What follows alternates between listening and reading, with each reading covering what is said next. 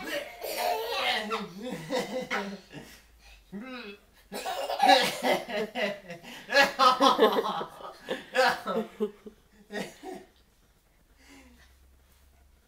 you done? Now that Mama's got the